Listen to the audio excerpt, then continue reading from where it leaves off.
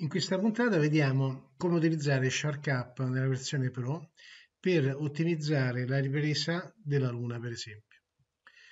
E questa operazione la facciamo su un file già realizzato diverso tempo fa sulla Luna, e però vale altrettanto bene nel, con un filmato in tempo reale.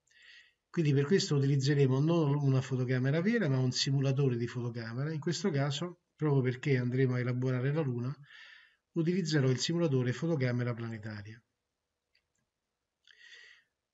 Nella funzione immagine, controlli di prova, nel pulsante cerca, selezionerò la cartella e il file .ser contenente il video che ripresi della Luna.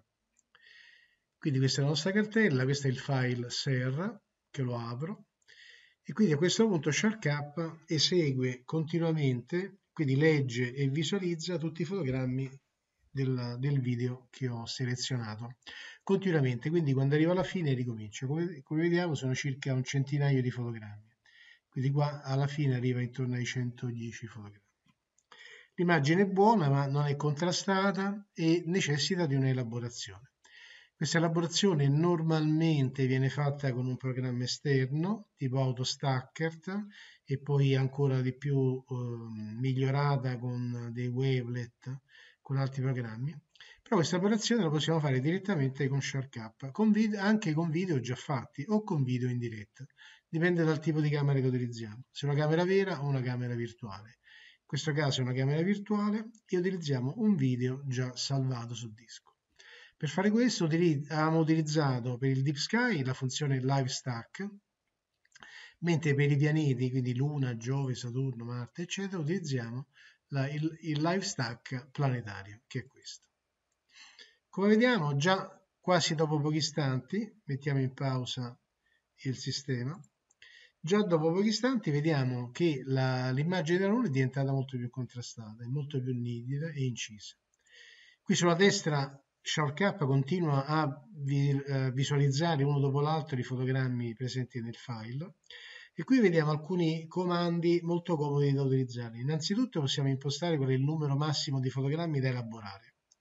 Qui è impostato al massimo che è oltre 8000 e quindi abbiamo solo 100, quindi in realtà ne userà solamente 100. Ci fa vedere in questo momento qual è la lunghezza dello stack che ha caricato, quindi ne ha caricate 54 immagini e, e qual è la proporzione di immagini caricate in funzione dei filtri che abbiamo impostato, che sono in questa seconda linguetta. Nel frame filtering vediamo che mentre scorre il filmato, anche se in pausa nella visualizzazione ma sta scorrendo, vediamo che la qualità delle immagini passa da alta, media, bassa, alta, media, molto bassa, fa schifo, media, bella, buona, molto bella, buona, fa schifo, buona, buona, eccetera e qui possiamo impostare qual è la percentuale dei fotogrammi che vogliamo utilizzare nello stack. Per esempio, qui è il 50%. Posso fare anche altre funzioni, tipo il time lapse, se stiamo riprendendo il sole, per esempio, delle protuberanze. Con il time lapse possiamo fare questa operazione su una protuberanza creando un video di, di time lapse. In questo caso noi faremo solamente una, una ripresa eh, con i fotogrammi sommati tra loro. Nella stabilizzazione e allineamento possiamo indicare di effettuare la stabilizzazione sulla superficie o sull'intero pianeta. Se, se il pianeta è piccolo come Giove, Marte, faremo il full disk. Nel caso della Luna o del Sole utilizzeremo surface, quindi la superficie. E nello stacking mode utilizziamo o un singolo punto o multipunti. Quindi possiamo selezionare più punti indicare quanti punti vogliamo in, in, utilizzare oppure andare nella versione più semplice su un singolo punto.